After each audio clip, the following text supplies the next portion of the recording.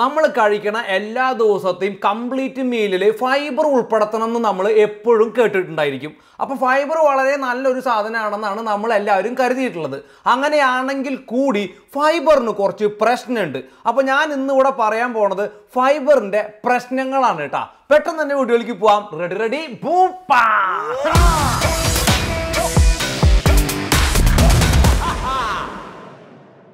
Fibre അഥവാ നാര്. ഈ വീഡിയോ വളരെ കൃത്യമായിട്ട് ശ്രദ്ധിച്ചിരുന്നിട്ട് കേൾക്കണം. അതായത് പല ആളുകൾക്കും പല അതായത് ഒരു വീഡിയോ ഇങ്ങനെ പോണ വഴിക്കേ ഇതെന്താണ് ഞാൻ ഉദ്ദേശിച്ചതെന്നുള്ളത് ഇങ്ങനെ പറയുമ്പോൾ അത് റിസീവ് ചെയ്യുന്ന ആളുകൾക്ക് പല തരത്തിലുള്ള ഒരു ഇന്റർപ്രിട്ടേഷൻ ഉണ്ടാവാനുള്ള സാധ്യതയുണ്ട്. അതുകൊണ്ട് തന്നെ കൃത്യമായിട്ട് ശ്രദ്ധിക്കണം. ഈ വീഡിയോ നമ്മൾ ഏത് പശ്ചാത്തലത്തിലാണ് പറയണതെങ്കിൽ ഈ ഇറച്ചി തിന്നണ ഒരു കമ്മ്യൂണിറ്റി ഇപ്പോൾ നമുക്ക് കാണാൻ പറ്റും പാലിയോ ഡയറ്റ് കീറ്റോ ഡയറ്റ് അതല്ലെങ്കിൽ carnivore diet low carb diet അവർ പ്രിഡോമിനന്റ്ലി ഈറ്റ് ചെയ്യുന്നത് മീറ്റാണ് അപ്പോൾ ഇങ്ങനെ മീറ്റ് നിങ്ങൾ കഴിക്കുകയാണ് എങ്കിൽ കോൺസ്റ്റിപ്പേഷൻ ഉണ്ടാവില്ലേ കൊളസ്ട്രോൾ ഉണ്ടാവില്ലേ.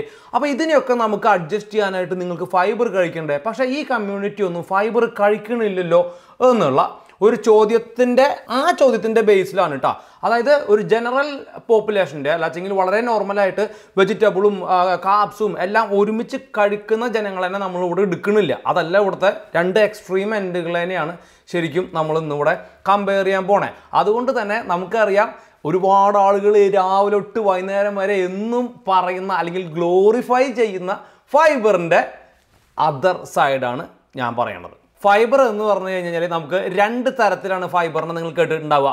Soluble fibre water soluble fibre അതായത് വെള്ളത്തിൽ അലിയുന്ന ഫൈബറിനെയാണ് നമ്മൾ വാട്ടർ സോല്യൂബിൾ ഫൈബർ എന്ന് പറയുന്നത് എക്സാമ്പിളിന് നമ്മുടെ ധാന്യങ്ങൾ നമ്മുടെ പയറും കടലൊക്കെ വെള്ളത്തിൽ കുതിർത്തിയിട്ട് കഴിയുമ്പോൾ പിറ്റേ ദിവസത്തേക്ക് സ്പഞ്ച് പോലെ വീർത്ത് വരുന്നത് കണ്ടിട്ടില്ലേ? അത് അതിന്റെ ഉള്ളിൽ സോല്യബിൾ ഫൈബർ ഉള്ള കാരണമാണ് ഇവിടെ അതെ ഞാൻ കുറച്ച് ചിയ സീഡ്സ് നമ്മൾ കേട്ടിട്ടുണ്ടായിരിക്കും. ചിയ സീഡ്സ് ഭയങ്കരമായിട്ട് സോല്യബിൾ ഫൈബറും ഇൻ സോല്യൂബിൾ ഫൈബറും ഒക്കെയുള്ള സാധനമാണെന്ന്.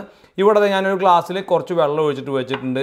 ഇനി ഒരെണ്ണം നിങ്ങൾക്ക് അറിയാവുന്ന എന്താ വെച്ച് കഴിഞ്ഞാൽ ഇൻസോല്യൂബിൾ ഫൈബർ ശരിക്കും പറഞ്ഞു കഴിഞ്ഞാൽ നമുക്ക് പ്രത്യേകിച്ച് ഒരു കാര്യമില്ല നമ്മൾ ഇവിടെ നിന്ന് കഴിച്ചാൽ നേരെ അപ്പീരെ കൂട്ടത്തിലേക്ക് പുറത്തേക്ക് പോണത്.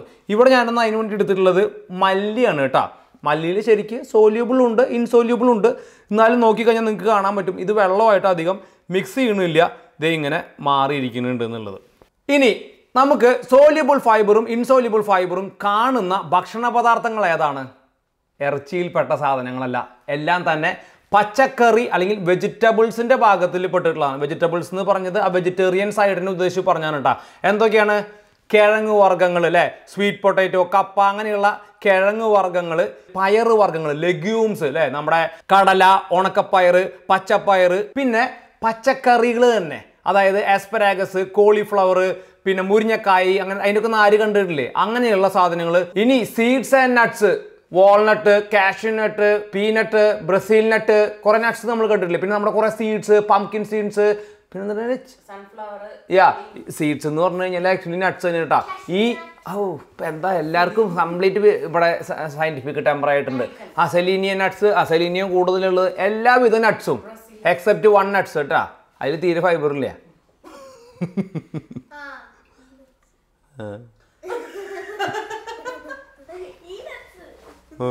പ്രിങ്ങുവിന് ആ. നട്ട്സ് ഒക്കെ അറിയാം. ഇവിടുത്തെ പിള്ളേർ ആദ്യം പഠിക്കുന്നത് ആ നട്ട്സാ ഫ്രൂട്ട്സ്. ഇങ്ങനെ ഓൾ സോർട്ട് ഓഫ് എല്ലാം ചേർന്ന സംഭവത്തിന്റെ ഉള്ളിലാണ് നമ്മൾ കോമൺ ആയിട്ട് സോല്യൂബിളും ഇൻസോല്യൂബിൾ ഫൈബറും കാണുന്നത് ഇനിയിപ്പോൾ ഒരു എക്സാമ്പിളിന് ഞാൻ കഴിഞ്ഞ വീഡിയോയിൽ പറഞ്ഞു എന്ന് തോന്നുന്നു. നമ്മളൊരു പയർ കഴിച്ച് കഴിയുമ്പോൾ ആ പയറിന്റെ അകത്ത് പുറത്തുള്ള തൊലി എന്ന് പറയുന്നത് ഇൻസോല്യൂബിൾ ആണ്. അപ്പോൾ നമ്മൾ അതുകൊണ്ടാണ് പിറ്റേ ദിവസം കക്കൂസ് കഴിഞ്ഞിട്ടും പോയിരിക്കുമ്പോഴൊക്കെ കുട്ടികളുടെയൊക്കെ നമ്മൾ പയറും കടലയും കണ്ടു എന്ന് പറയണില്ലേ?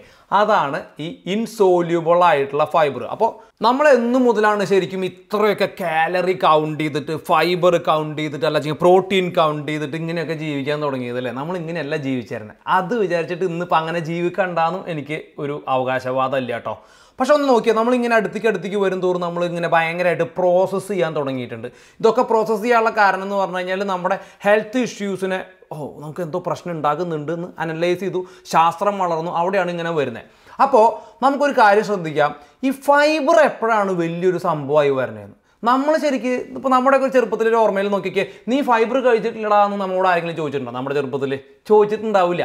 ഇതൊക്കെ ഈ അടുത്ത കാലത്താണ് നമുക്ക് ഫൈബറിന്റെ ഇത്രയും ഒരു സംഭവം വരുന്നത് എന്നാൽ യു എസിലാണ് ഇതിന്റെ തുടക്കം എന്നാണ് പറയുന്നത് അതായത് ഒരു ആയിരത്തി തൊള്ളായിരത്തി എഴുപത്തിയേഴ് കാലഘട്ടത്തിലൊക്കെ ഈ ബേക്കറി ബൂമായി വരുന്ന ഒരു സമയമുണ്ട്. ഈ പ്രോസസ്സ് ചെയ്തിട്ടുള്ള മൈദയാണ് ഇവർ ആദ്യം ഈ ക്ലിയർ ആക്കിയിട്ട് ഈ വെള്ളപ്പൊടി കൊണ്ടുവരുന്നത് ഈ വെള്ളപ്പൊടി ആക്കി മാറ്റിയതിന് ശേഷം ഈ ബേക്കിങ്ങിൽ ഭയങ്കര ഒരു ബൂമിംഗ് ഉണ്ടാവുന്നുണ്ട്. പഞ്ചസാരനെ ക്ലീൻ ചെയ്തിട്ട് നല്ല വൈറ്റ് ഷുഗർ കൊണ്ടുവന്നപ്പോഴും ഇതൊക്കെ ആഡ് ചെയ്തിട്ട് നല്ല നല്ല ഫുഡ് പ്രോഡക്ട്സ് മാർക്കറ്റിൽ വിൽക്കാൻ സാധിക്കുന്ന ഒരു അവസരത്തിൽ ഇവരതിൽ നിന്ന് പ്രധാനമായിട്ട് റിമൂവ് ചെയ്തൊരു സാധനമാണ് അതിന്റെ ബ്രാൻഡ് അതല്ല വെച്ചെങ്കിൽ അതിന്റെ നാര് എന്ന് പറയുന്നത്. അപ്പോൾ ഇതിനെ വർക്ക് ചെയ്യാൻ എളുപ്പമുണ്ട്. അങ്ങനെ ഇവരുടെ ഈ ബേക്കറിയിലുള്ള ഒരു വലിയൊരു ഹൈപ്പ് വരുന്നുണ്ട്. ഒരുപാട് പ്രോസസ്ഡ് ഫുഡ് വരുന്നുണ്ട്. ആളുകൾ പെട്ടെന്ന് സൂപ്പർ മാർക്കറ്റിൽ അവിടെയൊക്കെ പോയിട്ട് ഈസി ആക്സസ് വന്നു. പ്രോസസ്ഡ് ഫുഡ് കഴിക്കാൻ തുടങ്ങി. മൊത്തത്തിൽ അവരുടെ അവിടെ കാർഡിയോവാസ്കുലർ ഇഷ്യൂസ് അതുപോലെ തന്നെ ഈ ഡയബറ്റിക് പോലുള്ള സംഘ സംഗതികൾ ഉണ്ടായി കഴിഞ്ഞ് കഴിഞ്ഞപ്പോൾ ഇവർ മറ്റുള്ള രാജ്യങ്ങളെ ഒബ്സർവ് ചെയ്യാൻ പോവാണ്. അവിടെ എന്താ സംഭവിക്കുന്നത് വെച്ച് കഴിഞ്ഞാൽ അവരെല്ലാം കഴിക്കുന്നത് ഹോൾ ഫുഡാണ് മുഴുവൻ വെജിറ്റബിൾ കഴിക്കുന്നുണ്ടായിരിക്കും. മുഴുവൻ അരി അരി എന്ന് പറഞ്ഞു കഴിഞ്ഞാൽ അതിന്റെ മെയിൻ ബ്രാൻഡ് ഉണ്ടായിരിക്കും. ഹോൾ ഫുഡ് കഴിക്കുന്ന അല്ല വെച്ചെങ്കിൽ ഈ മുഴുവൻ ഭക്ഷണം അതേപോലെ തന്നെ കഴിക്കുന്ന ആളുകളിൽ അസുഖങ്ങൾ കുറവുണ്ടെന്ന് മനസ്സിലാക്കിയപ്പോഴാണ് ഇതിൽ നിന്നൊക്കെ മിസ്സായ ഒരു സംഗതി എന്താണ്? അതിലൊരു പ്രധാനപ്പെട്ട ഘടകമാണ് ഫൈബർ ഒരുപാട് കാരണങ്ങളാണ് കേട്ടോ അസുഖങ്ങൾ ഉണ്ടാവാനുള്ള. ഫൈബർ മാത്രമല്ല ഫൈബറിനെ മാത്രം വെച്ചിട്ട് നമുക്ക് മുന്നോട്ട് പോകാൻ പറ്റില്ല. ഐഡന്റിഫൈ ചെയ്ത ഒരു ഫസ്റ്റ് മാർക്കാണ് ഫൈബർ എന്ന് പറയുന്നതും. Let's put back that fibre ഇതിലേക്ക് എന്നുള്ളത്. അങ്ങനെയാണ് ഈ ബ്രാൻഡിനെ ഇവർ എടുത്ത് തിരിച്ച് കളയണ ഒരു സാധനമായിരുന്നു. അതിനെ തിരിച്ച് ഇവർ ഇതിലേക്ക് കൊണ്ടുവരണേ. അപ്പോൾ അത് ഇൻട്രൊഡ്യൂസ് ചെയ്ത് കഴിഞ്ഞ് കഴിഞ്ഞാൽ അസുഖം കുറയ്ക്കാന്നുള്ളിടത്താണ് ഫൈബർ അന്ന് മുതലാണ് നമ്മൾ ഇത് കേൾക്കാൻ തുടങ്ങുന്നത് ശരിക്കും പറഞ്ഞാൽ. ഇപ്പം എന്താ സംഭവിച്ചാൽ നമ്മുടെ അവിടെ ഒരുപാട് പ്രോസസ്ഡ് ഫുഡ് ആയി കഴിഞ്ഞപ്പോൾ നമ്മുടെ അവിടെയും ഈ പറഞ്ഞ പോലെ അസുഖങ്ങൾ കൂടിയിട്ടുണ്ട്. അത് പ്രോസസ്ഡ് ഫുഡിന്റെ മാത്രമല്ല എന്ന് എനിക്കറിയാട്ടാ. നമ്മുടെ ഒരു എന്താ പറയുക ലൈഫ് സ്റ്റൈൽ ചേഞ്ചസിന് ഒരുപാട് മാറ്റങ്ങൾ വന്നിട്ടുണ്ട്. പണ്ടൊക്കെ നമ്മൾ കായികമായിട്ട് അധ്വാനിച്ചിരുന്ന ആളുകളാണ്. അതെല്ലാം കുറഞ്ഞിട്ടുണ്ട്. ഞാൻ ഒരു കാരണം പറഞ്ഞു എന്നുള്ളൂ. ഇനി ഹായ് അതുകൊണ്ട് മാത്രമല്ല ഉണ്ടായെന്ന് പറയാൻ പറ്റണ്ട എനിക്ക് മനസ്സിലായി. ഇനി ഫൈബർ ശരിക്കും നമുക്ക് ഡൈജസ്റ്റ് ആവോ? ഉത്തരം വളരെ സിമ്പിളാണ് ഇല്ല. ഫൈബർ എന്ന് പറഞ്ഞു കഴിഞ്ഞാൽ നമ്മുടെ മനുഷ്യ ശരീരത്തിന് ദഹിപ്പിക്കാൻ പറ്റാത്ത ഒരു സാധനമാണ്. നമ്മൾ ഇവിടുന്ന് കഴിക്കുന്നു നേരെ അടിയിൽ നിന്ന് പുറത്തേക്ക് പോകുന്നു. ഒരു ചെറിയൊരു മാറ്റം അതിലുണ്ട്. എന്താണെന്ന് വെച്ച് കഴിഞ്ഞാൽ സോല്യുബിൾ ഫൈബർ ഇതാണ് ശരിക്കും നമ്മൾ എന്തെങ്കിലും അല്ലെങ്കിൽ ഒരു എനർജി ആക്കി മാറ്റാൻ സാധ്യതയുള്ളത്. അത് ഞാൻ തുടർന്ന് ഈ വീഡിയോ പറഞ്ഞുകൊണ്ടിരിക്കുമ്പോൾ അതെന്താണെന്ന് പറയാം. അല്ലാത്ത പക്ഷം ഫൈബർ എന്താണ് ചെയ്യണേ? ഫൈബർ നമ്മൾ കഴിക്കുന്ന ഭക്ഷണത്തിൽ നമ്മൾ ഈ പണ്ട് ഈ പറഞ്ഞ പോലെ തന്നെ എന്തെങ്കിലും ഫ്രൂട്ട്സും ഈ സാധനങ്ങളൊക്കെ കഴിക്കുമ്പോൾ ഈ ഫൈബർ കിട്ടുന്നു. നേരെ നമ്മുടെ വയറിൽ കൂടെ ഇറങ്ങിയിട്ട് നമ്മുടെ ആമാശയത്തിൽ ചെന്ന് ചെറുകുടലിന്റെ ഉള്ളിൽ കൂടെ യാത്ര ചെയ്ത് പതുക്കെ ഈ സാധനം കോളനിലെത്തി കോളനിൽ നിന്ന് അപ്പീറിലൂടെ നേരെ പുറത്തേക്ക് പോവുകയാണ് ഈ സംഭവം ചെയ്യണേ. അതായത് നമ്മുടെ ബോഡിക്ക് ദഹിപ്പിക്കാൻ പറ്റില്ല. ബാക്ടീരിയൽ കോളനി നമ്മുടെ ശരീരത്തിലുള്ള ബാക്ടീരിയയ്ക്ക് മാത്രമാണ് ഈ ഫൈബറിനെ പ്രോസസ്സ് ചെയ്യാൻ പറ്റുള്ളൂ. Basically fibre is doing nothing ഇവിടുന്ന് പോണു താഴേന്ന് വരുന്നു. ഇനി ബാക്ടീരിയയുടെ ഭാഗം നമുക്ക് വേറെ പറയാട്ടാ അതിനോടൊപ്പം തന്നെ ഒരു കാര്യം കൂടി ചെയ്യുന്നുണ്ട്. ഈ ഫൈബർ ആക്ച്വലി പുൾ വാട്ടർ ഇതേ ഇവിടെ ഇരിക്കുന്ന ചിയ സീഡ്സ് നിങ്ങൾക്ക് നോക്കിക്കഴിഞ്ഞ് കഴിഞ്ഞാൽ ഞാനിതിൽ ഒരുപാട് ചിയ സീഡ്സ് ഇട്ടു. എന്നിട്ട് ഇതിൽ കുറച്ച് വെള്ളം ഒഴിച്ചു. പക്ഷേ ഈ വെള്ളം ഒന്ന് ഇതിന് പോരാ. ദൈവം കട്ട പിടിച്ചിട്ട് ജെല്ലി ആയിട്ടാണ് ഇരിക്കുന്നത്. ഒന്ന് നോക്കി നോക്കിയേ. ഇത് തന്നെയാണ് ഇത് നമ്മുടെ വയറിന്റെ ഉള്ളിലേക്ക് പോയാലും ചെയ്യണത്. ഇത് നേരെ ഇതുപോലെ വെള്ളം വലിച്ചെടുത്തിട്ട് ഒരു ജെല്ലി ആയിട്ട് ഇരിക്കും. അപ്പം ഇതിന് ഇത്രയൊന്നും വെള്ളം പോരാട്ടാ. നല്ല വെള്ളം വേണം ഇവൻ ആവശ്യത്തിന് ഇതാവാൻ. അല്ലാച്ചെങ്കിൽ ഇവൻ കട്ടയാണ് ആവണേ. ആ ഭാവനെ ആലോചിച്ചോ. So this is a soluble fibre ആണ്. ഇനി നമ്മുടെ ഇൻസോല്യൂബിൾ ഫൈബർ നോക്കിയേ. ദേ ഇവൻ കട്ടയായിട്ടില്ല ഒന്നും ആയിട്ടില്ല. ഇവൻ നേരെ നമ്മുടെ അപ്പീര കൂട്ടത്തിൽ പുറത്തേക്ക് പോവും. കണ്ട? ചണ്ടിയായിട്ട് തന്നെ. ഈ മല്ലി നിങ്ങൾ ഇന്നിപ്പോൾ വിഴുങ്ങിയിട്ടുണ്ടെങ്കിൽ നാളെ അപ്പീരോട് പറക്കിയെടുത്തിട്ട് വീണ്ടും കറി വയ്ക്കാം ഗോൾഡ് പറയുന്നുണ്ട് അതുകൊണ്ടാണ് നമ്മൾ ഫൈബർ തിന്നുമ്പോൾ വെള്ളം കുടിക്കണമെന്ന് പറയണേ. അതെ നിങ്ങൾ ഫൈബർ തിന്നുമ്പോൾ വെള്ളം കുടിച്ചിട്ടില്ല വെച്ചെങ്കിൽ അണ്ണന് വെള്ളം കിട്ടില്ല you may get dehydrated okay അപ്പോൾ ഈ അതൊക്കെ ഞാൻ അവിടേക്ക് എത്താം. എന്നെ ഡിഹൈഡ്രേറ്റ് ആവില്ലേ? നിനക്ക് വെള്ളം ഇല്ലല്ലോ വെള്ളം അണ്ണം വലിക്കൂലേ? ഓക്കെ അപ്പോൾ എന്താണ് സംഭവിക്കണേ? ഈ സാധനം ജെല്ലി പോലെ ഇങ്ങനെ ഇറങ്ങി ഇറങ്ങി പോയിട്ട് നമ്മുടെ അപ്പിയുമായിട്ട് മിക്സ് ചെയ്തിട്ട് ഒരു വലിയൊരു ബൾക്ക് വോളിയം അപ്പി ഉണ്ടാക്കിയിട്ട് ആ ലൈനിലെ നല്ല സ്മൂത്ത് ആയിട്ടുള്ള സാധനമല്ലേ ജെല്ലി മിഠായി പോലെ ഇരിക്കുന്നത്. അപ്പോൾ നല്ല സൂപ്പറായിട്ട് അപ്പി ഇടും. അപ്പോൾ അപ്പിയിലാണ് ശരിക്കും നമ്മൾ ഫൈബറിന്റെ ചർച്ച തുടങ്ങുന്നത് തന്നെ. ആദ്യത്തെ ചോദ്യം അപ്പി ഇടാനായിട്ട് ഫൈബർ ഹെൽപ്പ് ചെയ്യും. ശരിയാണ് അപ്പി ഇടാനായിട്ട് ഫൈബർ ഹെൽപ്പ് ചെയ്യും. ഒരു കുഴപ്പമില്ല. ചോദ്യം ശരിക്കും അപ്പി ഇടാനായിട്ട് ഫൈബർ വേണോ എന്നുള്ളതാണ്. നമ്മൾ നോർമൽ പോപ്പുലേഷൻ എടുക്കുക. സാധാരണ ജനങ്ങൾ എടുക്കുക. സാധാരണ ആൾക്കാർ ഭക്ഷണം കഴിക്കുന്നുണ്ട്. ഭക്ഷണം കഴിക്കുമ്പോൾ അവരുടെ ഭക്ഷണത്തിൽ ഫൈബർ വരുന്നുണ്ട്. വെജിറ്റബിളിൽ നിന്നുള്ള ഫൈബർ വരുന്നുണ്ട്. സോല്യൂബിളും വരുന്നുണ്ട്. ഇൻസോല്യൂബിളും വരുന്നുണ്ട്. ഇവർ നോർമലായിട്ട് ഭക്ഷണം എല്ലാത്തിന്റെ ഒപ്പം കഴിക്കുന്നു. അവർ വളരെ നോർമലായിട്ട് അപ്പി ഇടുന്നു. ആ അപ്പി സ്മൂത്തായിട്ട് പോകുന്നു. അല്ലാച്ചെങ്കിൽ ഇടയ്ക്കൊക്കെ ഒന്ന് തട്ടിയും തടഞ്ഞിട്ടും പോകണു എങ്ങനെ വേണമെങ്കിലും ഈ ഫൈബർ ഉള്ളത് കൊണ്ട് ഈ സാധനം ഇങ്ങനെ പോകണമെന്നാണ് നമ്മൾ കരുതണേ പക്ഷേ നമ്മൾ ആദ്യം ശ്രദ്ധിക്കേണ്ടത് കോൺസ്റ്റിപ്പേഷൻ നമുക്ക് എല്ലാവർക്കും കൃത്യമായിട്ട് മനസ്സിലായിട്ടുണ്ടോ എന്നുള്ളതാണ്. നമുക്ക് ഗൂഗിളിൽ അപ്പിയുടെ ഒരു ചിത്രം നോക്കാം. ഇതിൽ നിങ്ങൾ type three and type four രണ്ട് ടൈപ്പ് ഈ ടൈപ്പ് ത്രീയും നിങ്ങൾ കാണാൻ പറ്റും. അതായത് നോർമലാണ് a sausage sausage shape with cracks in the surface തികച്ചും നോർമലാണ് നാല് like a smooth soft sausage or snake പാമ്പിന്റെ പോലെയുള്ള അപ്പി. അതും നോർമലാണ് അതിന്റെ മുകളിലേക്ക് പോകുമ്പോൾ നമുക്ക് കാണാൻ പറ്റും കോൺസ്റ്റിപ്പേറ്റഡ് ആയിട്ടുള്ള അപ്പികൾ ടൈപ്പ് ടൂവും ടൈപ്പ് വണ്ണും ആണ് അപ്പം നമ്മൾ ചിന്തിക്കേണ്ടത് ശരിക്കും ഇതുപോലെ ആട്ടുംകാട്ടം പോലെ അപ്പിയിടുന്ന അവസ്ഥയിലാണോ? നമ്മളിലുള്ള ഭൂരിഭാഗം ആളുകളും ഈ ഫൈബറിനെ പേടിച്ചിട്ട് അപ്പിയിടണേ ഒന്ന് ആലോചിക്കുക അല്ല ആയിരിക്കില്ല എന്നാണ് എന്റെ ഒരു വിശ്വാസം. നമ്മുടെ വിചാരം എന്താണെന്ന് വെച്ച് കഴിഞ്ഞാൽ കോൺസ്റ്റിപ്പേഷൻ എന്ന് പറയുന്ന അവസ്ഥ ഞാൻ കഴിഞ്ഞ വീഡിയോയിൽ പറഞ്ഞ പോലെ തന്നെ നമ്മൾ ഒരു ദിവസം രാവിലെ എണീറ്റിട്ട് അപ്പി വെച്ചെങ്കിൽ അല്ലെങ്കിൽ എന്തോ ഒരു ബുദ്ധിമുട്ടുള്ള പോലെ തോന്നുമ്പോഴേക്കും നമ്മൾ വിചാരിക്കുന്നത് കോൺസ്റ്റിപ്പേറ്റഡ് ആയെന്നാണ്. നമ്മൾ ഈ പറഞ്ഞ രണ്ടാമത്തെ മൂന്നാമത്തെ അപ്പിയുടെ ഷേപ്പ് നോക്കിക്കഴിഞ്ഞാൽ കുറച്ച് ക്രാക്ക് ഉള്ള നമ്മുടെ ഈ കോപ്ര പിണ്ണാക്ക് അടിയിട്ട് വരുന്ന സമയത്ത് ക്രാക്ക് ഉള്ള പോലത്തെ അപ്പി വലിയ വിഷയമില്ല നിങ്ങൾ കോൺസ്റ്റിപ്പേറ്റഡ് ആയി എന്ന് ചിന്തിക്കുന്നത് എപ്പോഴാണെന്നറിയോ? നിങ്ങൾക്ക് അപ്പിയിടാൻ പറ്റാതെ ആവണം. നിങ്ങൾക്ക് അപ്പിയിടുമ്പോൾ നമ്മുടെ മലദ്വാരം ഓപ്പൺ ആവാത്ത കണ്ടീഷൻ ബ്ലീഡിങ് കണ്ടീഷൻ ഭയങ്കര വയറുവേദന അങ്ങനെ അസ്വസ്ഥമായ അവസ്ഥയാണ് ശരിക്കും പറഞ്ഞു കഴിഞ്ഞാൽ കോൺസ്റ്റിപ്പേഷൻ നിങ്ങൾ ഒരു ദിവസം അപ്പിയിട്ടില്ല ചെറിയ വിഷയമൊന്നുമില്ല എത്ര ദിവസം കൂടുമ്പോൾ അപ്പിയിടണം നമ്മൾ മൂന്ന് ദിവസം കൂടുമ്പോൾ ഒരു ദിവസം അപ്പിയിട്ടാൽ മതി. നിർബന്ധമില്ല. ഇനി വേണമെങ്കിൽ നിങ്ങൾക്ക് എല്ലാ ദിവസവും അപ്പിയിടാം അപ്പിയിടുന്നത് ഒരു തലവേദനയാക്കിയിട്ട് എടുത്തു വെക്കരുത്. അപ്പോൾ തെറ്റിദ്ധരിക്കരുത്. കോൺസ്റ്റിപ്പേഷൻ എന്താണെന്നുള്ളത്. നിങ്ങൾ ഫൈബർ കഴിച്ചിട്ടില്ല എങ്കിലും അപ്പി നല്ല സ്മൂത്തായിട്ട് പൊക്കോളൂ. ചിലപ്പോൾ നിങ്ങൾ ഫൈബറിൽ നിന്ന് ഈ ഡയറ്റ് മാറുമ്പോൾ മീറ്റ് കൺസ്യൂം ചെയ്യുന്ന സമയത്ത് എന്താണ് സംഭവിക്കുന്നത്? മീറ്റ് കൺസ്യൂം ചെയ്യുന്ന സമയത്ത് meat will take long time complex ആയിട്ടുള്ള അമൈനോ ആസിഡ്സ് ആണ്. അതിനെ ബോഡിക്ക് ഡൈജസ്റ്റ് ചെയ്യാനായിട്ട് കുറച്ച് സമയം എടുക്കും. ചെറുകുടലിൽ അതിന്റെ അബ്സോർപ്ഷന് ടൈം എടുക്കും. എന്നിട്ട് പതുക്കെയാണ് ഇവൻ വൻകുടലിൽ എത്തുള്ളൂ. വൻകുടലിൽ എത്തുമ്പോഴും ഇവന് പോഷൻ കുറച്ച് കുറവാണ്. അതുകൊണ്ടാണ് അപ്പി നമ്മൾ ഫ്രീക്വന്റ് ആയിട്ട് ഇട്ടിട്ടില്ല എന്ന് തോന്നണേ. പക്ഷേ നിങ്ങൾ ഇതിലേക്ക് യൂസ്ഡ് ആയി കഴിയുമ്പോൾ നിങ്ങൾ കഴിക്കുന്ന ഭക്ഷണത്തിന്റെ അതായത് ഫൈബർ റിച്ച് ഫുഡ് കഴിക്കാത്ത ആളാണെങ്കിൽ പോലും ഇത് വളരെ സുഖമായിട്ട് പൊക്കോളും. ഒരു കുഴപ്പമില്ല. ഇനി അപ്പി കേസിൽ പറയുന്ന മറ്റൊരു കാര്യമാണ്. ഫൈബർ ക്രിയേറ്റ്സ് ബൾക്ക് എന്ന്. ഇറച്ചി മറ്റുള്ള സാധനങ്ങളൊക്കെ കഴിക്കുകയാണെങ്കിൽ ബോഡി നന്നായിട്ട് അബ്സോർബ് ചെയ്യും. നമ്മുടെ കോളന്റെ അകത്തേക്ക് അധികം അപ്പിയൊന്നും ഉണ്ടാവില്ല. അപ്പോൾ അപ്പിയുടെ അളവ് കൂട്ടാനല്ലേ? ബൾക്കാക്കുക ശരിയല്ലേ? നമ്മൾ പയർ വെള്ളത്തിൽ ഇട്ട് വയ്ക്കുമ്പോൾ സോലിബിൾ ഫൈബറിലേക്ക് വെള്ളം അബ്സോർബ് ചെയ്തിട്ട് ദാറ്റ് ക്രിയേറ്റ്സ് ബൾക്ക് അപ്പോൾ വയറിന്റെ ഉള്ളിൽ നന്നായിട്ട് അപ്പി പോകുന്നതാണ് എന്തിനാണ് ഇപ്പോൾ ഇതിന് മാത്രം കക്കൂസ തൂറിനിറക്കണമെന്ന് വല്ല വഴിപാടുണ്ടാ? നമ്മളെന്താ തീട്ടുണ്ടാക്കണ മെഷീനാ ഇതിന് മാത്രം തൂറണമെന്ന്? നമ്മുടെ തലേന്ന് ചിന്തയെ കളഞ്ഞാൽ മതി. മൂന്ന് ദിവസത്തിൽ ഒരിക്കൽ അപ്പിട്ടാൽ മതി. എല്ലാ ദിവസവും അപ്പിയിടണമെങ്കിൽ നിങ്ങൾ അപ്പിട്ടോ? അപ്പി നമ്മൾ ഞാൻ പറഞ്ഞില്ലേ കോൺസ്റ്റിപ്പേഷന്റെ ചിന്തയാണ് നമ്മുടെ പ്രശ്നം. നമ്മൾ കോൺസ്റ്റിപ്പേറ്റഡ് ആണ് കോൺസ്റ്റിപ്പേറ്റഡ് ആണെന്ന് ചിന്തിച്ചിരിക്കുക. അപ്പോൾ ഇതിന് മാത്രം ബൾക്ക് ഉണ്ടാക്കിയിട്ട് ക്ലോസറ്റ് ഇതാക്കേണ്ട യാതൊരു കാര്യമില്ല അങ്ങനെയാണ് നമ്മൾ ചിന്തിച്ച് വെച്ചിട്ടുള്ളത്. ക്രിയേഷൻ ബൾക്ക് ഇനി ബൾക്ക് എന്ന് തന്നെ പറഞ്ഞു കഴിഞ്ഞ് കഴിഞ്ഞാൽ ശരിക്കും കോൺസ്റ്റിപ്പേറ്റഡ് അയാൾക്ക് ഈ എക്സസ് എമൗണ്ട് ഓഫ് ഫൈബർ എന്താ ഉണ്ടാക്കുക എന്ന് നോക്കി നിങ്ങൾക്ക് കറക്റ്റായിട്ട് മനസ്സിലാവും. കുറേ ആൾക്കാർ ഈ ഫൈബറിന്റെ കാര്യം പറയുമ്പോൾ പറയുന്നതാണ് ഓൾറെഡി നമ്മുടെ കോളൻ കൺജസ്റ്റഡ് ആണ് നിറഞ്ഞാണ് ഇരിക്കണത് അവിടേക്കാണ് നമ്മൾ ഫൈബർ കയറ്റി വിടണേ. എനിക്ക് ശരിക്കും ഉണ്ടായത് അതാ. ഞാൻ എന്റെ ഈ അപ്പി ഇതായി കഴിഞ്ഞ് കഴിഞ്ഞപ്പോൾ ആദ്യത്തെ രണ്ടാഴ്ച ഇറച്ചി കഴിച്ചിട്ട് അപ്പി കട്ടയെന്ന് തോന്നി. എനിക്ക് തോന്നുന്നു ആ സമയത്ത് ഫൈബർ കയറ്റി കഴിഞ്ഞപ്പോൾ ഇന്റെ അപ്പിയോട്ട തുറക്കണ പോലും ഇല്ല. അത്ര അലമ്പായി. കാരണം എന്താ? ഈ സാധനം പോയിട്ട് വലുതായി. ആദ്യം വന്ന ഐറ്റം ഒരു ചെറിയ മത്തങ്ങയുടെ സൈസിലെ പുറത്തേക്ക് വന്നെ. മനസ്സിലായാ? അമ്മയ്ക്ക് മനസ്സിലായ ഞാനപ്പോൾ വന്നിട്ട് ഉടനടി ഗൂഗിൾ നോക്കുക.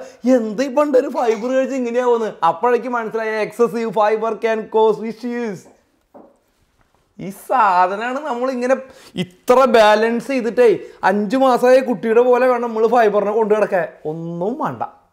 ഇനി ഞാനൊരു സ്റ്റഡി പറയാം. ഈ സ്റ്റഡി കണ്ടക്ട് ചെയ്യുന്നത് സിംഗപ്പൂരാണ്. രണ്ടായിരത്തി എട്ട് രണ്ടായിരത്തി പത്ത് കാലഘട്ടത്തിലാണ്. ഏതാണ്ട് അറുപത്തിമൂന്ന് ആളുകൾ തന്നെയാണ് ഈ ഒരു സ്റ്റഡിക്കായിട്ട് ഉപയോഗിക്കുന്നത്. ഈ അറുപത്തിമൂന്ന് ആളുകൾക്കുള്ള എന്താ വെച്ച് കഴിഞ്ഞാൽ ഇഡിയോപാത്തിക് കോൺസ്റ്റിപ്പേഷൻ ആണ്. അതായത് അപ്പി പോണില്ല കോൺസ്റ്റിപ്പേഷൻ ആണ്. കോൺസ്റ്റിപ്പേഷൻ എന്താണെന്ന് കൃത്യമായിട്ട് അറിയാത്ത അല്ലെങ്കിൽ എന്താണ് അസുഖം എന്ന് അറ അറിയാത്തതിനെയാണ് നമ്മൾ ശരിക്കും ഇഡിയോപാത്തിക് കോൺസ്റ്റിപ്പേഷൻ എന്ന് പറയുന്നത് ഈ അറുപത്തിമൂന്ന് ആളുകൾ തന്നെ ഇവർ ഒരു മാസം മുതൽ ആറു മാസം വരെ ഒബ്സർവേഷൻ ചെയ്യാണ്. ഈ ഒബ്സർവേഷൻ ചെയ്യുന്ന സമയത്ത് ഇവർ റെഗുലറായിട്ട് ഫൈബറൊക്കെ എടുത്ത് കഴിച്ചിരുന്ന ആളുകളാണ്. ഇവർക്ക് ഉണ്ടായിരുന്ന പ്രശ്നം എന്തായിരുന്നു വെച്ചെങ്കിൽ കോൺസ്റ്റിപ്പേഷൻ ഉണ്ട്. മലം നന്നായിട്ട് ഉറച്ചിട്ടുണ്ട്. മലം പോകുന്നില്ല വയറുവേദന അങ്ങനെയുള്ള മറ്റുള്ള കാര്യങ്ങളുണ്ട്. മലദ്വാരം ഓപ്പണിങ് ആവാനുള്ള ബുദ്ധിമുട്ടുണ്ട്. ചില ആളുകൾക്ക് ഈ മലത്തിൽ ബ്ലഡ് ഉണ്ടായിരുന്നു. ഇത്തരത്തിലുള്ള പ്രോബ്ലമുള്ള അറുപത്തി മൂന്ന് ആളെ തന്നെയാണ് ഇവർ ഈ പഠനത്തിന് വിധേയാക്കിയത് അതിൽ ഏതാണ്ട് എനിക്ക് വേണം പത്ത് നാൽപ്പത്തി ഏഴ് നിങ്ങൾ ഞാൻ ഈ സ്റ്റഡി ഇതിന്റെ അടിയിൽ കോട്ട്. ചെയ്യട്ടെ നിങ്ങൾ അടിയിൽ പോയിട്ട് നോക്കിക്കോ. പത്ത് നാൽപ്പത്തിയേഴ് ആൾ ഫീമെയിൽ ആയിരുന്നു ബാക്കിയുള്ളത് ആണുങ്ങളായിരുന്നു. ഇവർ ആദ്യം എന്താ ചെയ്തത് വെച്ചാൽ ഈ ആളുകൾക്ക് എല്ലാവർക്കും ഫൈബർ ഇൻട്രൊഡ്യൂസ് ചെയ്യാണ്. ഫൈബർ കൊടുക്കുകയാണ് ഫൈബർ കൊടുത്തു കഴിഞ്ഞ് കഴിഞ്ഞിട്ട് ആദ്യത്തെ ഒരു മാസം ഇവർ നോക്കി നോക്കിക്കഴിഞ്ഞ് കഴിഞ്ഞപ്പോൾ എന്താ ഉണ്ടായെന്ന് വെച്ച് കഴിഞ്ഞാൽ ഇവരുടെ കോൺസ്റ്റിപ്പേഷൻ എല്ലാം കൂടുണ്ടായി. ശരിക്കും പറഞ്ഞു കഴിഞ്ഞാൽ ഇപ്പോൾ എന്നേക്കാളും പ്രശ്നമായി ഇത് കൊടുത്തു കഴിഞ്ഞ് കഴിഞ്ഞപ്പോൾ എല്ലാം ഹൈ ആയി. എല്ലാം കൂടി കൂടി വന്നു. അത് കഴിഞ്ഞ് കഴിഞ്ഞപ്പോൾ എന്ത് അടുത്ത സ്റ്റേജിൽ എന്താ ചെയ്താൽ ടോട്ടൽ കുറച്ച് ഫൈബർ ഇവർ കുറച്ച് നോക്കി.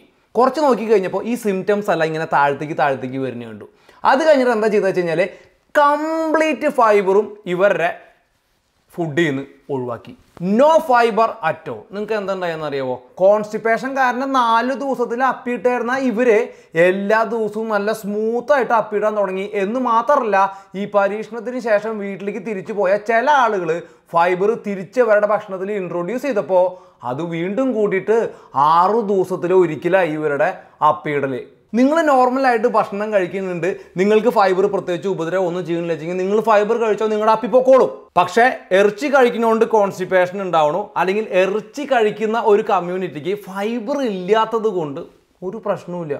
നിങ്ങൾ പെരിസ്റ്റാൾസിസ് എന്ന് കേട്ടിട്ടില്ലേ? ഈ കുടലിന്റെ മൂവ്മെന്റ് നമ്മൾ ചെറുപ്പത്തിൽ പഠിച്ചിട്ടുണ്ടായിരിക്കും. പെരിസ്റ്റാൾസിസ് ഈ കുടൽ ഇങ്ങനെ ഫങ്ഷണലി ഇങ്ങനെ മൂവ് ചെയ്ത് മൂവ് ചെയ്ത് നമ്മുടെ ഫുഡിനെ താഴ്ത്തേക്ക് കൊണ്ടുപോകുന്ന പ്രവൃത്തിയാണ് ഈ പെരിസ്റ്റാൾസിസ് എന്ന് പറയുന്നത് അസോസിയേറ്റഡ് വിത്ത് എക്സസൈസ് നമ്മൾ എക്സസൈസ് ചെയ്ത് നോക്കിക്കേ എന്തിനാണ് ഈ ഫൈബർ കഴിച്ച് വെള്ളം കുടിച്ചിട്ട് ഇതിനുള്ളിൽ ഇങ്ങനെ ഇളക്കി വിട്ടിട്ട് ഇവിടുന്ന് സ്മൂത്ത് ആക്കിയിട്ട് വരെ നമുക്ക് ഇങ്ങനെ ഇരിക്കാനാ? അല്ലേ? നമുക്ക് എക്സസൈസ് ചെയ്യണമെന്ന് വയ്യ. നിങ്ങൾ എക്സസൈസ് ചെയ്ത് നോക്കിക്കേ നല്ല സുഖമായിട്ട് അപ്പിടാൻ പറ്റും നമുക്ക്. ഒരു കുഴപ്പമില്ല. നമ്മൾ എക്സസൈസ് ചെയ്യുമ്പോൾ പെരിസ്റ്റാൾസിസ് മൂവ്മെന്റ് കൂടും. നമ്മുടെ കറക്റ്റായിട്ട് ഭക്ഷണം ചെറുകുടലിൽ ചെന്ന് ചെറുകുടലിൽ ഫംഗ്ഷൻ ചെയ്ത് അവിടെ നിന്ന് ഇങ്ങനെ അനങ്ങി അനങ്ങി അനങ്ങി പോവും. എക്സസൈസ് ചെയ്ത് നോക്കിയാൽ മെന്റൽ ഹെൽത്ത് കൂടും. നിങ്ങൾ കേട്ടില്ലേ സ്ട്രെസ് കൂടിക്കഴിഞ്ഞാൽ നമ്മുടെ വയർ അപ്സെറ്റ് ആവും. നമുക്ക് എന്തെങ്കിലും ടെൻഷൻ വരും ആരെങ്കിലും ആയിട്ട് വഴക്കുണ്ടായിരിക്കും അല്ലെങ്കിൽ നമുക്ക് ആകെ അപ്സെറ്റ് ആവും വയറ് ബ്ലോട്ടായ പോലെയൊക്കെ തോന്നും. ഇല്ലേ? ഇനി രണ്ടാമത്തെ സംഗതി ഫൈബർ കൊളസ്ട്രോൾ കുറയ്ക്കാനായിട്ട് സഹായിക്കുമെന്നുള്ളതാണ് നമുക്ക് എല്ലാവർക്കും ഭയങ്കര ഇൻട്രസ്റ്റ് ഉള്ള ഒരു ഏരിയ ആയിരിക്കും കൊളസ്ട്രോൾ എന്ന് കേട്ട് കഴിഞ്ഞ് കഴിഞ്ഞാൽ അല്ലേ? കൊളസ്ട്രോളിനെ എങ്ങനെയെങ്കിലും കുറയ്ക്കാൻ എന്ത് വഴിയുണ്ടെന്ന് അന്വേഷിച്ച് നടക്കുന്ന ആളുകളാണ് നമ്മൾ എന്റെ ആദ്യത്തെ ചോദ്യം കൊളസ്ട്രോൾ ശരിക്കും ഇത്രയ്ക്ക് പ്രശ്നമുള്ള ഒരു സാധനമാണോ? അതോ കൊളസ്ട്രോൾ നമുക്ക് ആവശ്യമുള്ള ഒരു സാധനമാണോ? നമുക്ക് നോക്കാം. നിങ്ങളുടെ സെല്ലടക്കം എല്ലാ സാധനങ്ങളിലും കൊളസ്ട്രോളിന് വലിയൊരു പങ്കുണ്ട്. നിങ്ങളുടെ സെൽ മെംബ്രെയിൻ ഉണ്ടാക്കിയിട്ടുള്ളത് എന്തിട്ടുണ്ടാ കൊളസ്ട്രോൾ ഉപയോഗിച്ചിട്ടാണ്. നിങ്ങളുടെ തലച്ചോറ് അറുപത് ശതമാനം ഫാറ്റിൽ ഇരുപത്തിമൂന്ന് ശതമാനം കൊളസ്ട്രോളാണ് നിങ്ങൾക്ക് സെക്ഷൽ റീപ്രൊഡക്ഷൻ അങ്ങനെയുള്ള എല്ലാ ഹോർമോൺസിനും കൊളസ്ട്രോൾ ആവശ്യമുണ്ട്. നിങ്ങളുടെ ബ്ലഡിന് കൊളസ്ട്രോൾ ആവശ്യമുണ്ട്. നിങ്ങളുടെ ബയൽ പ്രൊഡക്ഷന് കൊളസ്ട്രോൾ ആവശ്യമുണ്ട്. എല്ലാ എൻസൈംസിനും നിങ്ങൾക്ക് കൊളസ്ട്രോൾ ആവശ്യമുണ്ട്. നിങ്ങളുടെ ശരീരത്തിൽ ഉടാനികൾ ആവശ്യമുള്ള ഒരു സാധനമാണ് കൊളസ്ട്രോൾ. ഇനി കൊളസ്ട്രോൾ കുറച്ചാൽ എന്താ ഉണ്ടാവുകയെന്നറിയോ നമ്മുടെ ന്യൂറോളജിക്കൽ ഫംഗ്ഷന് മാറ്റം വരും ഇല്ലേ? നിങ്ങൾക്ക് ഡിമെൻഷ്യ വരും നിങ്ങൾക്ക് പാർക്കിൻസൺസ് വരും. അങ്ങനെ തലയിൽ ഉണ്ടാകുന്ന പല പ്രശ്നങ്ങളും നമുക്ക് കൊളസ്ട്രോൾ കുറഞ്ഞുണ്ടാവും. വൈറ്റമിൻ ഡി സിന്തസിസിന് നിങ്ങൾക്ക് കൊളസ്ട്രോൾ വേണം. എത്ര ആൾക്കാരാണ് വൈറ്റമിൻ ഡി ഇഞ്ചക്ഷൻ എടുത്തിട്ട് നടക്കുന്നത് ഇനി നമ്മുടെ ഈ സെൽസ് എല്ലാം ഡാമേജ് ആവും. കൊളസ്ട്രോൾ ആവശ്യത്തിന് ഇല്ല വെച്ചെങ്കിൽ ബയലിന്റെ പ്രൊഡക്ഷൻ റിട്ടാർഡ് ചെയ്യപ്പെടും. നമ്മുടെ ദഹനം കറക്റ്റായിട്ട് നടക്കില്ലേ? കൊളസ്ട്രോൾ ഇല്ല വെച്ചെങ്കിൽ കുഞ്ഞുങ്ങൾ ഉണ്ടാവുന്നതിന് വരെ പ്രശ്നം ഉണ്ടാവാൻ സാധ്യതയുള്ള ഒരു സാധനമാണ് കൊളസ്ട്രോൾ ആവശ്യത്തിന് ഇല്ല വെച്ചെങ്കിൽ ആ ആവശ്യമുള്ള സാധനമാണ് നമ്മൾ കുറയ്ക്കണം എന്ന് പറയണേ. നമ്മളെന്തിനാ കുറയ്ക്കണേ? നിങ്ങൾക്ക് കൊളസ്ട്രോൾ ഉണ്ടോ? വല്ല അസുഖമുണ്ടോ ജനറൽ പോപ്പുലേഷന്റെ അടുത്ത് കൊളസ്ട്രോൾ കുറയ്ക്കണം എന്ന് പറയണത് എന്തിനാണ്? അതാണ് എനിക്ക് വിട്ട നിങ്ങളോട് പറയണത് നിങ്ങൾക്ക് ഒരു അസുഖമുണ്ട് നിങ്ങൾ ഗുളിക കഴിച്ചോ? നിങ്ങൾക്ക് പനിയുണ്ട് നിങ്ങൾ പാരസെറ്റമോൾ കഴിച്ചോ? ഒരു എക്സാമ്പിൾ പറഞ്ഞ കേട്ടോ. പനി ഇല്ലാത്തവൻ പാരസെറ്റമോൾ കഴിച്ചോ നടക്കണോ? നിങ്ങൾക്ക് കൊളസ്ട്രോൾ ആവശ്യമുള്ള ഒരു സാധനമാണ് അത് എന്തിനാണ് കുറയ്ക്കുന്നത് കുറയ്ക്കേണ്ട ഫൈബർ വെച്ച് കഴിച്ചിട്ട് കുറയ്ക്കണ? എന്ന് മാത്രമല്ല ഡയറ്ററി കൊളസ്ട്രോളിന്റെ അപ്പർ ലിമിറ്റ് എടുത്ത് കളഞ്ഞിട്ടുണ്ട് രണ്ടായിരത്തി പതിനഞ്ചിൽ നിങ്ങൾ എടുത്ത് നോക്കിയൊക്കെ ഞാൻ ആ ഇതിവിടെ വയ്ക്കാം എന്താ പറഞ്ഞേ? രണ്ടായിരത്തി പതിനഞ്ച് വരെ നമ്മൾ കരുതിയിരുന്നത് ഡയറ്ററി കൊളസ്ട്രോൾ അതായത് നമ്മൾ കഴിക്കുന്ന കൊളസ്ട്രോൾ എക്സാമ്പിളിന് കോഴിമുട്ടയുടെ ഉള്ളിലുള്ള മഞ്ഞ എന്ന് പറയുന്നത് നമുക്കറിയാം ഹൈ ഇൻ കൊളസ്ട്രോൾ ആണ്. അത് കാരണം മുട്ട കഴിക്കരുതെന്ന് ഒരു കാലഘട്ടം വരെ എല്ലാവരും ഓ ഒരു മുട്ടകളും കൂടുതൽ കഴിക്കാൻ പറ്റില്ല. കാരണം hundred and eighty milligrams of cholesterol ഉണ്ട് ഒരു കോഴിമുട്ടയിൽ അത് അത് കാരണം ആ അപ്പർ ലിമിറ്റ് വെച്ചിട്ടുണ്ടായിരുന്നു അതുകൊണ്ട് മുന്നൂറായിരുന്നു ഇപ്പോൾ പറയുന്നത് എന്താണ്? Dietary cholesterol have no direct link ഈ കാർഡിയോ വാസ്കുലർ ഇഷ്യൂസിന് ഡയറക്റ്റ് ആയിട്ട് ലിങ്ക് ഇല്ല. അതിനേക്കാളും കൂടുതൽ നമ്മൾ പേടിക്കേണ്ടത് സാച്ചുറേറ്റഡ് ഫാറ്റും ട്രാൻസ് ഫാറ്റും എന്നാണ് നമ്മൾ റിപ്പോർട്ട് നോക്കി കാണാൻ പറ്റുക. അതിലൊരു ചെറിയൊരു തട്ടിപ്പുണ്ട്. നിങ്ങൾ കാർബോഹൈഡ്രേറ്റ് കൂടുതൽ കഴിച്ചു നോക്കിക്കേ. നിങ്ങൾ പ്രോസസ്ഡ് ഫുഡ് കൂടുതൽ കഴിച്ചു നോക്കിക്കേ. നിങ്ങൾ ഷുഗർ കൂടുതൽ കഴിച്ചു നോക്കിക്കേ. നിങ്ങളുടെ കൊളസ്ട്രോൾ എലിവേറ്റ് ആവും. എത്രയോ വെജിറ്റേറിയൻസിന് കൊളസ്ട്രോൾ ഉണ്ട്. നമ്മൾ ഇറച്ചി കഴിച്ചിട്ടില്ല കയറുന്ന സാധനം ഇത്. കാരണം നമുക്ക് ആവശ്യമുള്ളൊരു സാധനമാണ് അപ്പോൾ അതിന്റെ അപ്പർ ലിമിറ്റ് എടുത്തു കളഞ്ഞു. അപ്പോൾ അങ്ങനെ ഇരിക്കുന്ന ഒരു സാഹചര്യത്തിൽ ഫൈബറിനെ വെച്ചുകൊണ്ട് കൊളസ്ട്രോളിനെ കുറയ്ക്കേണ്ട കാര്യമില്ല. മനസ്സിലായില്ലേ? അപ്പോൾ നിങ്ങൾ ഇറച്ചി കഴിക്കുന്ന ഒരാളാണ് വെച്ചെങ്കിൽ യു ആർ ഓൾ ഗുഡ് ഇപ്പോൾ ഞാൻ എന്റെ ബ്ലഡ് റിസൾട്ട് ഞാൻ നിങ്ങൾക്കൊന്ന് ജസ്റ്റ് എടുത്ത് കാണിച്ചു തരാം. ഇത് രണ്ടായിരത്തി ഇരുപത്തി മൂന്ന് ഒരു വർഷം പഴക്കമുണ്ട്. ഞാൻ ഒരു ബ്ലഡ് റിസൾട്ടിന് അപ്ലൈ ചെയ്തിട്ടുണ്ട്. അത് നാളെയും കഴിഞ്ഞ് മറ്റന്നാളാണ്. അത് മിക്കവാറും ഉൾപ്പെടുത്താൻ പറ്റുമെന്ന് എനിക്ക് തോന്നുന്നില്ല. കിട്ടി ഞാൻ ഉൾപ്പെടുത്താം. എന്റെ ടോട്ടൽ കൊളസ്ട്രോൾ ആറ് പോയിന്റ് രണ്ടാണ് കേട്ടോ. അത് ഇവിടുത്തെ ന്യൂസിലാൻഡിലെ കണക്ക് പ്രകാരം ലെസ് ദാൻ ഫൈവ് ആണ് ലിമിറ്റ് വെച്ചെങ്കിൽ നിങ്ങൾക്ക് അപ്പുറത്ത് കാണാം എച്ച് എനിക്ക് ഹൈ ആണെന്ന് എഴുതിയിട്ടുണ്ട്. അഞ്ചിനേക്കാളും കുറവ് വേണ്ട. എനിക്ക് ആറ് പോയിന്റ് രണ്ടുണ്ട് ഇത് നിങ്ങൾ നാട്ടിൽ കൺവേർട്ട് ചെയ്തു? നാട്ടിലത്തെ അളവായിട്ട്. അടുത്തത് എന്റെ ട്രൈ ഗ്ലിസറൈഡ്സ് നിങ്ങൾ നോക്കിക്കോ. വേല ഓവർ ആയിരിക്കും. സീറോ പോയിന്റ് സെവൻ ആണ്. നമുക്ക് വേണ്ടത് ലെസ് ദാൻ ടു ആണ്. അപ്പോൾ triglycerides is very low ഇനി എച്ച് ഡി എൽ കൊളസ്ട്രോൾ നമുക്ക് എപ്പോഴും നല്ല കൊളസ്ട്രോൾ എന്നറിയപ്പെടുന്ന H D L cholesterol one point six four ആണ്. നമുക്ക് വേണ്ടത് ഒന്നിനേക്കാളും കൂടുതലാണ്. അപ്പോൾ ഓഫ് കോഴ്സ് എനിക്ക് ഒന്നിനേക്കാളും കൂടുതലുണ്ട്. എൽ ഡി എൽ നമ്മൾ നോക്കിക്കഴിഞ്ഞാൽ കാണാൻ പറ്റും നാല് പോയിന്റ് മൂന്നാണ് ഇവിടെയുള്ള വാല്യൂവിനേക്കാളും അതായത് ത്രീ പോയിന്റ് ഫോറിനേക്കാളും ഹൈ ആണ് എനിക്ക് എന്റെ എൽ ഡി എൽ ഓക്കെ അപ്പോൾ ഇതിൽ നിന്ന് എന്താണ് മനസ്സിലാക്കാനുള്ളത്? നിങ്ങൾ ഒരു ഫാറ്റ് അഡാപ്റ്റഡ് അതല്ല വെച്ചെങ്കിൽ മീറ്റ് കഴിക്കുന്ന ഒരാളാണെന്ന് വെച്ചെങ്കിൽ നിങ്ങളുടെ ലിപ്പിഡ് പ്രൊഫൈൽ ചേഞ്ച് ആവും. ആ സ്റ്റഡി ഞാൻ ഇവിടെ വയ്ക്കാം.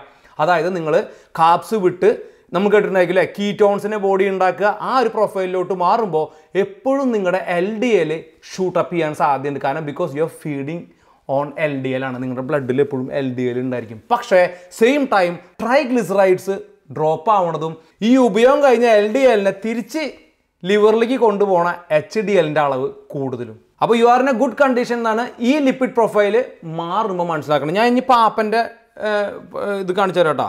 ജോസ് മോൻ ആ വീഡിയോ എടുക്കുന്ന സമയത്ത് അരക്കിണ്ണം ചോറിനുള്ള കാലഘട്ടമല്ലേ ആ കാലഘട്ടത്തിൽ ഹൈ ആയിട്ട് പുള്ളിക്ക് ഒരു ഇഷ്യൂ ആയിട്ട് തന്നെ പുള്ളി എന്നെ ആദ്യം ഈ കാര്യം ചോദിച്ചിട്ട് ഫോം വിളിക്കണേ. കൊളസ്ട്രോൾ നാല് പോയിന്റ് മൂന്ന് എം എം കേട്ടാ ട്രൈഗ്ലിസറൈഡ്സ് നിങ്ങൾ നോക്കിക്കഴിഞ്ഞ് കഴിഞ്ഞാലും അവന്റെ ടു ഹൈ ആണ്. സോ ഡോണ്ട് വറി അബൌട്ട് അന്നത്തെ കാലത്തെ ടോട്ടൽ കൊളസ്ട്രോൾ പക്ഷേ പുള്ളിയുടെ ട്രൈഗ്ലിസറൈഡ്സ് എന്ന് പറയുന്നത് less than one point seven ഉള്ള സമയത്ത് രണ്ട് പോയിന്റ് രണ്ടായിരുന്നു പിന്നീട് പുള്ളി മൊത്തമായിട്ട് മീറ്റിലോട്ട് മാറുകയാണ്. മൊത്തമായിട്ട് മീറ്റിലോട്ട് മാറിയിട്ട് റീസെന്റ്ലി പുള്ളി എടുത്തിട്ടുള്ള ഒരു റിസൾട്ട് ഞാൻ വായിക്കാം. ഇരുപത്തൊമ്പത് ജൂലൈ രണ്ടായിരത്തി ഇരുപത്തിനാല് കേട്ടോ പുള്ളിയുടെ ടോട്ടൽ കൊളസ്ട്രോൾ ഇവിടുത്തെ കണക്കിനനുസരിച്ച് കൂടുതലാണ് അഞ്ച് പോയിന്റ് നാലാണ്. പക്ഷേ ട്രൈഗ്ലിസറൈഡ്സ് നോക്കിയേ well over zero point five മീറ്റാണ് മൊത്തം പുള്ളി കഴിക്കുന്നത് ഇനി പുള്ളിയുടെ എച്ച് ഡി എൽ നോക്കിയേ one point seven nine greater than one is a great number ഇനി പുള്ളിയുടെ എൽ ഡി എൽ നോക്കിയോ പുള്ളിക്ക് എന്നേക്കാളും ബെറ്ററാ ത്രീ പോയിന്റ് ഫോർ കുറവിലാക്കണ്. അപ്പോൾ പുള്ളി pure on മീറ്റാണ് and no fibre at all പുള്ളിയുടെ കൊളസ്ട്രോളും കാര്യങ്ങളും തന്നെ വളരെ നോർമലായിട്ടാണ് ഓക്കെ ഡോൺ ഞാൻ ഈ പറഞ്ഞ വേർഡിൽ നിന്ന് തിരിച്ചെടുക്കരുത്. കൊളസ്ട്രോൾ ഒരുപാട് പ്രശ്നമുള്ള ഒരു സാധനമാണ്. Cholesterol itself not an issue cholesterol associated with കുറേ അധികം പ്രശ്നങ്ങളുടെ കാരണങ്ങളും പ്രശ്നങ്ങളൊക്കെയുള്ള സാധനമാണ് കേട്ടോ. സോ ഓഫ് കോഴ്സ് നിങ്ങൾ അസുഖമുള്ള ഒരാളാണ്. എന്തെങ്കിലും ഒരു പ്രശ്നമുണ്ട് നിങ്ങളുടെ അടുത്ത് ഡോക്ടർ ഇന്ന കാര്യം പറഞ്ഞിട്ടുണ്ട് ഫൈബർ കഴിക്കാൻ പറഞ്ഞിട്ടുണ്ട് സ്റ്റാറ്റിൻ എടുക്കാൻ പറഞ്ഞിട്ടുണ്ട്. ദേ കണ്ടിന്യൂ വിത്ത് ഞാൻ പറയണത് നോർമൽ അതായത് ഫൈബറിന്റെ ഈ പറഞ്ഞ ഗ്ലോറിഫൈഡ് എതിരായിട്ടുള്ളൊരു വാദം ഇവിടെ പറഞ്ഞ് മനസ്സിലാക്കിപ്പിക്കണമെന്നേ ഉള്ളൂ ഫൈബറിന് അതിന്റെതായ ഗുണങ്ങൾ ഒരു സൈഡിൽ ഉണ്ട് I'm just saying the other side of it പഞ്ചസാരയുടെ അളവ് ശരീരത്തിൽ നിന്നും കുറയ്ക്കാനായിട്ട് ഫൈബർ നമ്മളെ സഹായിക്കുന്നുണ്ടെന്നാണ് പറയണേ. ഇവിടെ എനിക്ക് പറയാനുള്ളത് എന്താ വെച്ച് കഴിഞ്ഞാൽ പഞ്ചസാര നമുക്ക് ആവശ്യമുള്ള സാധനമല്ലേ? എന്തിനാ ഈ കുറയ്ക്കണ്? നമ്മുടെ ശരീരത്തിൽ ഇൻസുലിൻ ഇല്ലേ? ഇതിനെ അഡ്ജസ്റ്റ് ചെയ്യാനായിട്ട്. ഈ കാർണിവോർ അല്ലെങ്കിൽ കീറ്റോ അതല്ലെങ്കിൽ ലോ കാർബിൽ നിൽക്കുന്ന ആൾക്കാർ ഇന്ന ഫസ്റ്റ് പ്ലേസ് ഇറ്റ് സെൽഫ് അവർക്ക് പഞ്ചസാര കുറയ്ക്കണ്ട. കാരണം അവരതിന് മാത്രം ഇൻജസ്റ്റ് ചെയ്യുന്നില്ല ഈ പഞ്ചസാര? അതുകൊണ്ട് തന്നെ അവരെ സംബന്ധിച്ചിടത്തോളം ഈ ഫൈബറിനെ വെച്ചിട്ട് പറ്റിക്കേണ്ട കാര്യമില്ല. കാരണം എന്താ? അവരുടെ ശരീരത്തിലുള്ള അല്ലെങ്കിൽ തന്നെ പഞ്ചസാരയുടെ അളവ് കുറവാ. ഇത് കൂടുതലും കീറ്റോൺസാ അല്ലെങ്കിൽ ഫാറ്റാണ് അവർ എനർജി ആയിട്ട് യൂസ് ചെയ്യണത് അപ്പോൾ അതിനെ അങ്ങനെ കുറയ്ക്കേണ്ട കാര്യമില്ല. ഇനി ഇവരെന്താ ഉദ്ദേശിക്കുന്നത് ശരിക്കും? നിങ്ങൾ ഇപ്പോൾ എക്സാമ്പിളിൽ ബ്രേക്ക്ഫാസ്റ്റ് സീരിയലൊക്കെ ന്യൂസിലാൻഡിൽ കണ്ടു ചിരിച്ച് ചിരിച്ച് ചാവും. ഇവിടെ വീറ്റ് ബിക്സ് പോലെയുള്ള സാധനങ്ങളൊക്കെ ഞാൻ എന്റെ മോൾക്ക് ആദ്യം കൊടുത്തരുന്ന സാധനമാണ്. കാപ്സ് ഇവർക്ക് കണ്ടമാനം കൊടുക്കണം. അത് വിൽക്കുകയും വേണം. അപ്പോൾ കാപ്സ് കൊടുക്കാനായിട്ട് അതിന്റെ ഒപ്പം ഈ ഗ്ലൈസീമിക് ഇൻഡെക്സ് കുറച്ച് വെക്കാനായിട്ട്. ഗ്ലൈസീമിക് ഇൻഡെക്സ് ഞാൻ ഒരുപാട് ഡീറ്റെയിൽ ആയിട്ട് പോകുന്നില്ല അപ്പോൾ നമ്മൾ ഫൈബർ ആഡ് ചെയ്യുമ്പോൾ ഈ ഷുഗർ ഹൈപ്പായിട്ട് ഒറ്റയടിക്ക് ഇങ്ങോട്ട് കയറി കിട്ടില്ല. അതിനാണ് ശരിക്കും ഇവർ ഈ ബ്ലഡ് ഷുഗർ കുറഞ്ഞ് ഇരിക്കുന്ന ഒരു അവസ്ഥയിലേക്ക് നമ്മൾ കഴിച്ചാലും കാണാൻ പറ്റുന്ന ഫൈബറിനെ പ്ലേസ് ചെയ്യുമ്പോഴാണ്. സോ കീറ്റോയിലേക്ക് വന്നു കഴിഞ്ഞാൽ അതല്ല വെച്ചെങ്കിൽ ഈ ഇറച്ചി കഴിക്കുന്ന കമ്മ്യൂണിറ്റിയിലേക്ക് വന്നു കഴിഞ്ഞാൽ ഫസ്റ്റ് ഓഫ് ഓൾ ഇത് അപ്പറല്ല അവർ വളരെ നോർമലാണ് ഇനി ഈ ഷുഗറിനെ നമ്മൾ കഴിക്കേണ്ടെന്ന് തന്നെ തീരുമാനിക്കുക. ഒന്ന് ഇനി അഥവാ കഴിക്കുന്നുണ്ട് വെച്ചെങ്കിൽ ഷുഗറിന് ഇപ്പോൾ എന്താണ് ചെയ്യണേ? ഇപ്പോൾ നമ്മൾ കണ്ടു ഈ ജെല്ലി പോലെ ഇരിക്കുന്ന സാധനത്തിന്റെ ഉള്ളിൽ നമ്മൾ കഴിച്ചിട്ടുള്ള മറ്റുള്ള ഭക്ഷണ പദാർത്ഥങ്ങളൊക്കെ ഒട്ടിയിട്ട് ഇങ്ങനെ പോവണം. ഈ പോണ സമയത്ത് എന്താ ഉണ്ടാവണമെന്ന് വെച്ച് കഴിഞ്ഞാൽ രണ്ട് സംഭവമാണ്. ഒന്ന് പോക്കിന് ഭയങ്കര സ്പീഡാണ് കാരണം എന്താ ജെല്ലിമുട്ടായി പോലെ കിടക്കണേ. ഇവിടുന്ന് പോയി കഴിഞ്ഞാൽ ഇരിക്കുന്ന നേരം ഇവൻ ബുളു ബുളു ബുളു ബുളു ബ്ലൂ എന്ന് പറഞ്ഞിട്ട് ഈ മ്യൂക്കസ് ലൈനിന്റെ ഉള്ളിൽ കൂടെ ഇങ്ങനെ ഇറങ്ങി ഇറങ്ങി പോവും. ഈ സ്പീഡിൽ പോകുമ്പോൾ അബ്സോർപ്ഷൻ സ്റ്റോപ്പ് ചെയ്യപ്പെടും. കുറച്ച് ഇല്ലേ? അത്രയും എന്തിനാ ഇപ്പം ഇത്രയും സ്പീഡിൽ പറഞ്ഞേക്കണേ? നമുക്ക് കൂടുതൽ തിന്നാൻ വേണ്ടിയിട്ടല്ലേ നമ്മൾ ഈ സ്പീഡിൽ പറഞ്ഞേക്കണേ? അല്ലേ? നമുക്ക് കൂടുതൽ തിന്നാൻ അവനെ പ്ലേസ് ചെയ്യണമെന്ന് വിചാരിക്കും. എന്നിട്ട് ഇവനെ സ്പീഡിൽ പറഞ്ഞേക്കുക സ്പീഡിൽ പറഞ്ഞേക്കുമ്പോൾ വേറെ പ്രശ്നം ഉണ്ടാവുന്നുണ്ട് എന്തുണ്ടാവണമെന്ന് അറിയോ അബ്സോപ്ഷൻ പ്രിവെന്റ് ആവണമെന്ന് പറഞ്ഞില്ല അല്ലെങ്കിൽ അബ്സോപ്ഷൻ കുറച്ച് റിട്ടാർഡ് ചെയ്യുന്നുണ്ട് അല്ലെങ്കിൽ കുറച്ച് കുറയ്ക്കുന്നുണ്ട് ഗ്ലൈസിമിക് ഇൻഡെക്സ് അതിന്റെ ഒപ്പം എന്തൊക്കെ കുറയുണ്ടാവും ഫൈബർ വലിച്ചെടുക്കുന്ന മറ്റു കുറച്ച് സാധനങ്ങളാണ് സിങ്ക് മിനറൽസ് നമ്മുടെ ശരീരത്തിലുള്ള കാൽഷ്യം പൊട്ടാഷ്യം സോഡിയം ഇങ്ങനെയുള്ള എല്ലാ സാധനത്തിനും അണ്ണൻ കൂട്ടത്തിൽ പിടിച്ചിട്ട് കൊണ്ടുകളെ കളഞ്ഞേ ഇവന് മറ്റേ സെക്യൂരിറ്റി ജോബൊന്നും ഇല്ലേ പുള്ളിക്ക്? പുള്ളി കറക്റ്റായിട്ട് ഷുഗർ മാത്രം ഇവിടെ നിൽക്കുന്നുണ്ട് അല്ലെങ്കിൽ കൊളസ്ട്രോൾ മാത്രം ഇവിടെ നിൽക്കുന്നുണ്ട്. ഇതിനെ ഞാൻ മാത്രം പിടിച്ചിട്ട് ഞാൻ മറ്റുള്ളവനെ മുഴുവൻ ബോഡിക്ക് തരാമെന്നൊന്നും പറയണില്ല നമ്മൾ കഴിക്കണ ബെസ്റ്റ് അമൈനോ ആസിഡ്സ് ഉണ്ടെങ്കിൽ അല്ലെങ്കിൽ വെജിറ്റബിൾ പ്രോട്ടീൻ ഒക്കെ ഉണ്ടെങ്കിൽ ഇതിനെയൊക്കെ അണ്ണം പിടിക്കുന്നുണ്ട്. അണ്ണം പിടിച്ചിട്ട് എല്ലാത്തിനെയും കൊണ്ടുപോകണേ അപ്പം നമ്മുടെ അബ്സോർപ്ഷൻ റിട്ടാർഡ് ചെയ്യുക എന്ന് പറയുമ്പോൾ ഷുഗർ കൊളസ്ട്രോൾ അതിന്റെ ഒപ്പം പ്രോട്ടീൻ നമുക്ക് വേണ്ട ഒരുപാട് മിനറൽസും ഈ ഫൈബർ ഒരുമിച്ച് എടുത്തിട്ടാണ് താഴ്ത്തിക്ക് കൊണ്ടുപോണേ. അതാണ് ഞാൻ കഴിഞ്ഞ കളി കഴിഞ്ഞ വീഡിയോയിൽ ശിഖണ്ഡി എന്ന് വിളിച്ചത്. എന്തിനിപ്പോൾ ഇത്ര പാടുപെടണേ? നമുക്കിത് കുറച്ച് കഴിച്ചാൽ പോരെ. എന്തിന് ഇത്രയൊക്കെ പാടുപെട്ടിട്ട് ഇതൊക്കെ മുഴുവൻ കുത്തി കയറ്റിയിട്ട് അതിന്റെ സൈഡിൽ കൂടെ ഫൈബറിനെ വെച്ചിട്ട് ഫൈബറിനെ വെച്ച് അഡ്ജസ്റ്റ് ചെയ്ത് ഇറക്കി വിടണേ? It normal it good food complete food you all good ഇനി നമുക്കൊരു സ്റ്റഡി നോക്കാം. The role of dietary fibre in modulating microbiota dysbiosis in patients with type two diabetes systematic review and meta analysis of randomised controlled trials ഞാൻ അതിന്റെ conclusion അങ്ങ് വായിക്കാം. അപ്പോൾ മറ്റുള്ളതൊക്കെ നിങ്ങളിരുന്ന് വായിച്ചോളെ. Conclusion എന്താ പറയുക വെച്ചാൽ this systematic review and meta analysis have demonstrated that dietary fibre can significantly improve the relative abundance of bifidobacterium total S C F A S ഞാൻ ഇപ്പോൾ പറയട്ടെ and glycated haemoglobin blah blah blah however dietary fibre did not appear to have a significant effect ബ്രാക്കറ്റിൽ P greater than zero point zero five on fasting blood glucose HOMA I R acetic acid propionic acid butyric acid and adverse events അതായത് നിങ്ങൾ fibre കഴിച്ചു കഴിഞ്ഞപ്പോൾ നിങ്ങളുടെ വയറ്റിലുള്ള മൈക്രോബ്സിലുള്ള ഒരു shift കണ്ടിട്ടുണ്ടെങ്കിലും നിങ്ങളുടെ fasting ഗ്ലൂക്കോസിലും homo I ആറിൽ നമ്മൾ ഈ ഉദ്ദേശിച്ച പോലെയുള്ള യാതൊരു മാറ്റവും കണ്ടിട്ടില്ല എന്നുള്ളതാണ് ഈ സ്റ്റഡിയിൽ കാണുന്നത്. അതായത് നിങ്ങളുടെ ബ്ലഡ് ഷുഗർ കുറയ്ക്കുന്നതിൽ ഭയങ്കര വലിയ ഒരു സംഭവമൊന്നും ഈ ഫൈബർ ചെയ്തിട്ടില്ല എന്നുള്ളതാണ് ഈ സ്റ്റഡി കൺക്ലൂഡ് ചെയ്യുന്നത് ഇനി പറയുന്ന കാര്യം എന്താ വെച്ച് കഴിഞ്ഞാൽ തടി കുറയ്ക്കാനായിട്ട് ഫൈബർ ഹെൽപ്പ് ചെയ്യുന്നതാണ്. ഞാൻ അതിന്റെ സ്റ്റഡി അങ്ങോട്ട് ആദ്യം പറയാം. അതായത് fermentable and non fermentable fibre supplements did not alter hunger satiety or body weight in a pilot study of men and women consuming self selected diets ഞാനിവിടെ വയ്ക്കാം. അതായത് ഫൈബറിന്റെ സപ്ലിമെന്റ്സ് കൊടുത്തത് കൊണ്ടോ അല്ലെങ്കിൽ ഫൈബർ ഇൻഡ്യൂസ് ചെയ്തത് കൊണ്ടോ ഇവരുടെ ശരീരത്തിൽ തടി കുറയാനായിട്ടൊരു പ്രത്യേക കാരണം കണ്ടിട്ടില്ല എന്നുള്ളൊരു സ്റ്റഡിയാണ് ഞാൻ താഴെ വയ്ക്കുക. അതിനെക്കുറിച്ച് നമുക്ക് കൂടുതൽ പറയണില്ല എനിക്ക് പറയാനുള്ളത് തടി കുറയ്ക്കാൻ ഈ മാതിരി ഫൈബർ കുത്തി കയറ്റിയിട്ട് തടി കുറയ്ക്കേണ്ട കാര്യമില്ലല്ലോ.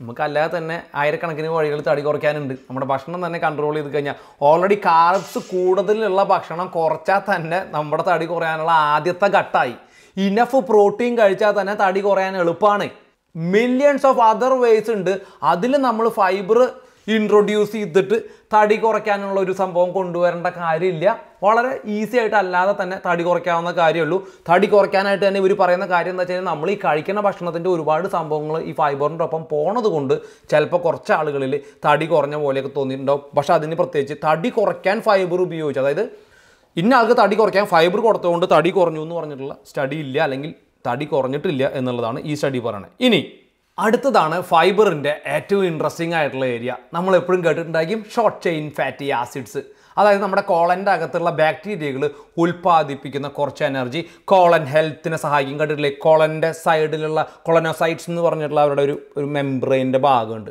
ഇങ്ങനെ വിൽ ചെറിയ ചെറിയ വില്ലായി പോലെ തന്നെ ഇരിക്കുന്ന ചെറിയൊരു ഏരിയയാണ് ഏഹ് ആ സെല്ലാണ് അപ്പോൾ ആ സെല്ലിന് ഈ ബാക്ടീരിയ ഫെർമെന്റ് ചെയ്യുന്ന സമയത്ത് short chain fatty acids which is butyrate acetate propionate ഇങ്ങനെ മൂന്ന് ഷോർട്ട് ചെയിൻ ഫാറ്റി ആസിഡ്സ് ആണ് നമ്മുടെ കോളന്റെ അകത്ത് ഉണ്ടാക്കണേ. അത് ഉപയോഗിച്ചിട്ടുള്ള എനർജി കിട്ടുമ്പോൾ ആ കോളന്റെ ഹെൽത്തിന് ഇത് സഹായിക്കും എന്നാണ് പറയണേ. ഉള്ള കാര്യമാണ് ഒരു സംശയവുമില്ല. അപ്പോൾ നിങ്ങൾക്ക് ഫൈബർ കഴിച്ചിട്ടില്ല വെച്ചെങ്കിൽ ഈ സാധനം കിട്ടുമോ എന്നുള്ളതാണ് ചോദ്യം. ഫൈബർ കഴിച്ചിട്ടുള്ള ആൾക്ക് ഷോർട്ട് ചെയിൻ ഫാറ്റി ആസിഡ്സ് ആയിട്ടുള്ള ബ്യൂട്രേറ്റ് ഈ വക സാധനങ്ങളൊക്കെ ഉണ്ടാക്കിയിട്ട് ബാക്ടീരിയ ഇവിടെ എനർജി പ്രൊവൈഡ് ചെയ്യുന്നു. ആ എനർജി നമുക്ക് കിട്ടുന്നു. പക്ഷേ ഈ എനർജി ബ്യൂട്രേറ്റിന്റെയും അസറ്റേറ്റിന്റെയും അല്ലെങ്കിൽ പ്രൊപ്പിയോണേറ്റിന്റെയും രൂപത്തിലല്ല ഇത് സ്വീകരിക്കുന്നത്. ഇതെങ്ങനെ സ്വീകരിക്കണമെന്ന് അറിയോ ഇതിനെ കൺവേർട്ട് ചെയ്തിട്ട് കീറ്റോൺസ് ആക്കിയാലേ ഈ സംഭവത്തിനെ അബ്സോർബ് ചെയ്യാൻ പറ്റുള്ളൂ അല്ലെങ്കിൽ എടുക്കാൻ പറ്റുള്ളൂ. നിങ്ങൾ ലോ കാർബ് അതല്ല വെച്ചെങ്കിൽ ലെസ് കാർബ്സ് കഴിക്കുന്ന ആളുകൾക്ക് എന്താണ് സംഭവിക്കുന്നത് അവരുടെ ബോഡി ഓൾറെഡി കീറ്റോസിസിലാണ് അല്ലെങ്കിൽ കീറ്റോൺസ് ഉണ്ടാക്കുന്നുണ്ട്.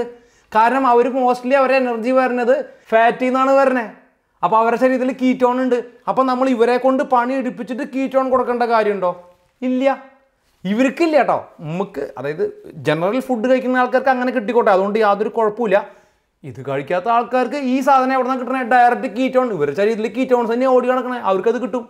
അതിന്റെ തന്നെ ഒരു സ്റ്റഡി ഉണ്ട്. അതായത് ബാക്കിൽ കൂടെ നമ്മൾ ഇവർക്ക് ഷോർട്ട് ചെയിൻ ഫാറ്റി ആസിഡ്സ് കൊടുത്തിട്ടുള്ള ഒരു സ്റ്റഡി ഉണ്ട് അതേസമയത്ത് ബോഡിയിൽ കീറ്റോൺസ് ഇൻജസ്റ്റ് ചെയ്തിട്ടുള്ള സ്റ്റഡിയിൽ ഫുള്ള് മറ്റേത് ഈ ഷോർട്ട് ചെയിൻ ഫാറ്റി ആസിഡ്സും ഈ സെൽ മെംബ്രെയിനും കോണ്ടാക്റ്റ് ആവണ ഭാഗത്താണ് ഈ എനർജി അവർക്ക് യൂസ് ചെയ്യാൻ പറ്റിയിട്ടുള്ളത് എങ്കിൽ കീറ്റോൺസ് ഓൾ ബോഡിയിൽ കൊടുക്കുന്ന സമയത്ത് ആ കോളന്റെ എല്ലാ സെൽസിനും ഈ കീറ്റോൺസ് ഒരേപോലെ ഉപയോഗിക്കാൻ പറ്റിയിട്ടുണ്ട് എന്നുള്ളതാണ് സ്റ്റഡി അപ്പോൾ നിങ്ങൾ കഴിക്കാൻ പറ്റാത്ത ആളാണ്. നിങ്ങൾക്ക് ഫൈബർ കഴിക്കാൻ പറ്റില്ല വെച്ചെങ്കിൽ you all good your body make it നിങ്ങൾ നോക്കിക്കോ. ഇനിയിപ്പോൾ അതുമില്ല വേറെയും വഴിയുണ്ട്. അസറ്റേറ്റ് അസറ്റിക് ആസിഡ് നമുക്ക് ആപ്പിൾ സൈഡർ വിനീഗർ കുടിക്കുകയാണെങ്കിൽ നിങ്ങൾക്ക് ആ സാധനം കിട്ടും. ഇനി ബ്യൂട്രേറ്റ് ബട്ടർ ലാഡ് അതല്ല വെച്ചെങ്കിൽ നമ്മുടെ ടാലോ പെർഹാപ്സ് ബ്യൂട്രേറ്റ് എന്നുള്ള വേടനെ വന്നിട്ടുള്ളത് ബട്ടറിൽ നിന്നാണ്. നിങ്ങൾക്ക് ബട്ടർ കഴിച്ച് കഴിഞ്ഞാൽ അത് കിട്ടും. ഇതൊന്നുമില്ലെങ്കിൽ നിങ്ങളുടെ ബോഡി ഉണ്ടാക്കും. ഞാൻ പറഞ്ഞ എങ്ങനെയാണെന്നുള്ളത്? Isovalerate and isobutyrate are branched chain short chain fatty acids B C F A S they are produced in the gut through the fermentation of amino acids specially leucine and valine നമ്മുടെ gut bacteria amino acids പ്രോട്ടീനിലുള്ള amino ആസിഡ്സിനെ ഉപയോഗിച്ചിട്ട് വേണമെങ്കിലും short chain fatty ആസിഡ്സിനെ ഉണ്ടാക്കാൻ കഴിവുണ്ട്. അപ്പോൾ energy നമുക്ക് അങ്ങനെ കിട്ടും. കോളന്റെ ഹെൽത്തിനും അത് സഹായിക്കും. അപ്പോൾ കീറ്റോ വേൾഡിൽ അതല്ലാച്ചെങ്കിൽ കാർണിവോർ വേൾഡിൽ അതല്ല വെച്ചെങ്കിൽ ലോ കാർബ് വേൾഡിലുള്ള ആളുകൾ if they still not taking any fibre അവരുടെ ബോഡി ദേ ഓൾ ഗുഡ് അവർക്ക് പ്രശ്നമൊന്നുമില്ല. ആൻഡ് ലാസ്റ്റ് ആൻഡ് ഫൈനൽ നമുക്ക് എല്ലാവർക്കും പേടിയുള്ള ഒരു സാധനം ക്യാൻസർ ഫൈബർ കഴിച്ചിട്ടില്ല വെച്ചെങ്കിൽ ക്യാൻസർ വരും അല്ലെങ്കിൽ ക്യാൻസറിനെ കോളന്റെ അകത്തുള്ള ക്യാൻസറിനെ പ്രിവെന്റ് ചെയ്യും എന്നുള്ളതാണ്. ഇപ്പോൾ ഓൾറെഡി നമ്മൾ ഈ വക പ്രശ്നങ്ങളൊക്കെ ഒഴിവാക്കി വന്നു. നമ്മൾ ഒരുപാട് കച്ചട ഫുഡൊന്നും കഴിക്കുന്നില്ല. അടിപൊളിയൊക്കെ ആയിട്ടാണ് ഇരിക്കണേ. ഇനിയും നമുക്ക് കോളൻ ക്യാൻസർ വരാൻ ഫൈബറിനെ അവിടെ കാര്യം ഉണ്ടോ എന്നുള്ളതാണ് ആലോചിക്കുക. ആർക്ക് കോളൻ ക്യാൻസർ വരില്ല എന്ന് പറയണേ? എന്റെ അഭിപ്രായത്തിൽ എനിക്ക് കോളൻ ക്യാൻസർ വരിക എനിക്ക് ഒരു ഗ്രാമിലും കൂടുതൽ കഴിക്കാൻ പറ്റില്ല. അല്ലെങ്കിൽ ഒരു ഗ്രാം പോലും എനിക്ക് കഴിക്കാൻ പറ്റില്ല. ഫൈബർ നിങ്ങൾ എങ്ങനെ സ്ലോലി ഇൻട്രൊഡ്യൂസ് ചെയ്താലും പറ്റില്ല. അപ്പോൾ എന്റെ കേസിൽ ഞാൻ ഫൈബർ അവോയ്ഡ് ചെയ്യണമാണ് ബെറ്റർ കാരണം എനിക്ക് എല്ലാ മറ്റുള്ള എല്ലാ സാധനങ്ങളും ഫൈബർ ഇല്ലാതെ തന്നെ കിട്ടുന്നുണ്ട്. അപ്പോൾ ഞാനത് അവോയ്ഡ് ചെയ്യണ അല്ലേ ഈ മീഥേൻ ഗ്യാസിന്റെ ശരീരത്തിൽ ഓവറായിട്ട് പ്രൊഡ്യൂസ് ചെയ്യുക ഞാൻ ബർപ്പ് ചെയ്യുക എന്നെ മൊത്തത്തിൽ തകിടം മറയ്ക്കുന്ന ഒരു സാധനമാണ് എന്നെ സംബന്ധിച്ചിടത്തോളം ഫൈബർ അപ്പോൾ ആ ഫൈബർ എനിക്ക് ശരിക്കും പറഞ്ഞാൽ എന്നെ കോളൻ ക്യാൻസറിലേക്ക് അല്ലെങ്കിൽ മറ്റുള്ള പല അസുഖങ്ങളിലേക്കാണ് നയിക്കുന്നത് എന്റെ ഡേ ടു ഡേ ലൈഫിനെ ബാധിക്കുന്നുണ്ട്. ക്യാൻസർ വന്ന് ചാവണേക്കാളും മുന്നേ ഞാൻ തലവേദന എടുത്തിട്ടോ ടെൻഷൻ വന്നിട്ടോ സ്ട്രെസ് വന്നിട്ടോ ചത്തു ഇല്ലേ? അപ്പോൾ ഇതിന്റെ ഒരു അപ്പർ ലിമിറ്റ് ഇവർ ഒരു ആവറേജ് നമ്പർ എടുത്ത് വെച്ചിട്ടുള്ളത് ഇരുപത് ഗ്രാം ഇരുപത്തഞ്ച് ഗ്രാമാണ് ആർക്ക് ഇരുപത്തഞ്ച് ഗ്രാം വരെ കൺസ്യൂം ചെയ്യാൻ പറ്റിയ ഒരാൾക്കാണെങ്കിൽ അത് okay but not many people ഞാൻ അതാണ് പറയണത് നിങ്ങൾക്ക് എത്ര പേര് നിങ്ങൾ ഒബ്സർവ് ചെയ്തിട്ടുണ്ടായിരിക്കും?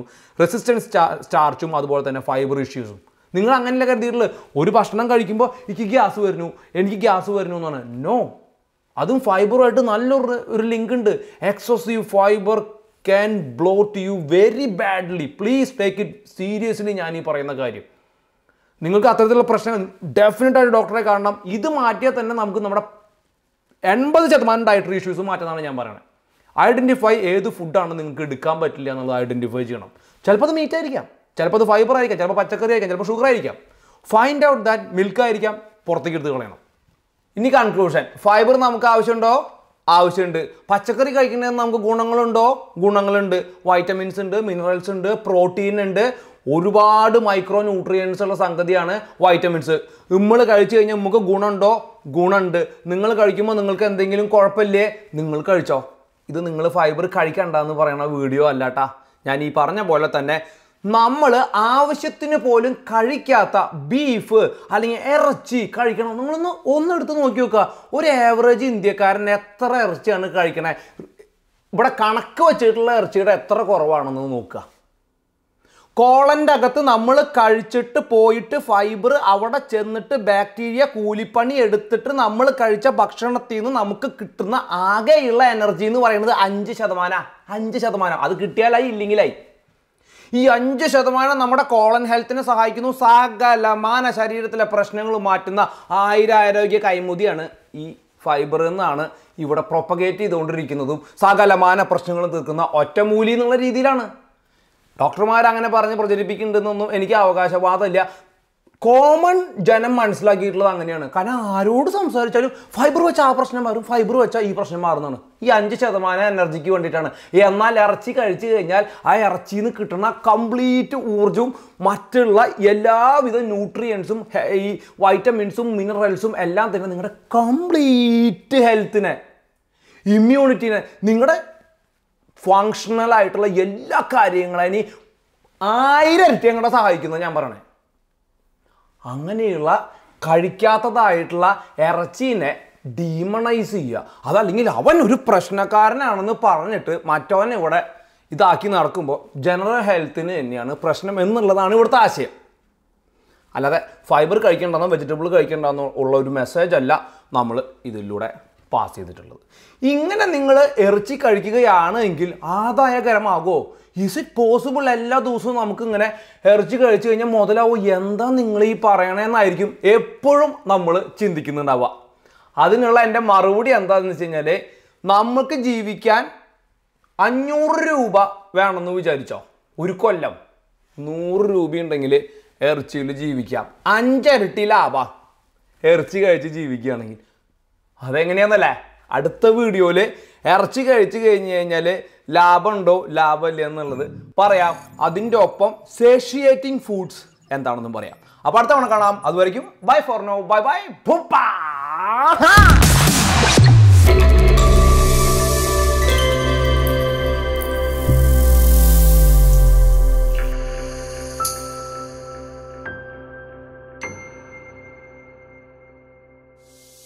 ഇന്ന് ഇനി ഷർട്ട് ഊരി കാണിക്കണം കൊള്ളേ വേണ്ട.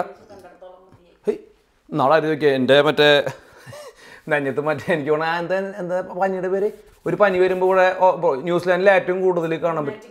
ആ റൊമാറ്റിക് ഫീവർ ഞാൻ ഈ ന്യൂസിലാൻഡിൽ വന്ന സമയത്ത് കേട്ടാ മിക്ക ആളുകളുടെ ഇവിടെ ഒരു ആ റൊമാന്റിക് ഫീവർ എപ്പോഴും ഇവിടെ ഒരു വെട്ട് ഉണ്ടാവും. അപ്പം ഞാൻ നോക്കി കഴിഞ്ഞാൽ റൊമാറ്റിക് ഫീവർ എന്ന് പറഞ്ഞിട്ട് ഒരു പനിയുണ്ട്. അത് ഇവിടെ ഭയങ്കര കൂടുതലാണ് ഈ പസഫിക് ഐലൻഡേഴ്സിന്റെ ഇടയിൽ അപ്പോൾ അങ്ങനെ വല്ല സർജറി ചെയ്തതാണോ എന്ന് ചോദിച്ചു. ശരിക്കും എനിക്ക് മൂന്ന് നിപ്പിളുണ്ട്. അതാണ്. എന്റെ മൂന്നാമത്തെ നിപ്പിളാണ് താഴെ ഇപ്പോൾ നിങ്ങൾക്ക് ഊരി കാണിച്ചാൽ നിങ്ങൾ ചോദിക്കുന്നുണ്ടോ? No I don't do that നിങ്ങൾ പഴയ വീഡിയോ വേണമെങ്കിൽ പോയി നോക്കിയോ അപ്പോൾ ഒരു അപ്പം പ്രിങ്ക് ശരിക്കുന്നു. അപ്പം ഞാൻ പറഞ്ഞു എന്റെ ഒരു കസിനും ഉണ്ട് അതൊരു പെൺകുട്ടിയാന്ന് പറഞ്ഞു. ഐ ബോൺ വിത്ത് മറ്റേ ശിവന് മറ്റേ മുക്കണ്ണ് എന്ന് പറഞ്ഞ പോലെ എനിക്ക് മുച്ചമൊലയാണ് മുച്ചമലയാണ്. മുച്ചമല